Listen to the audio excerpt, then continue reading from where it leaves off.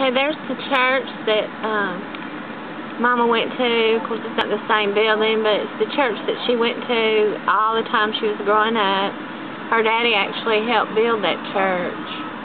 And there's Mama's old boyfriend standing over there in the distance. Look how pretty all the graves are. Mama would be sad, though, because there's nobody down here. Used to when she would talk about it when she was a kid, how it was just the biggest day of the year. And uh, there's not very many people here today.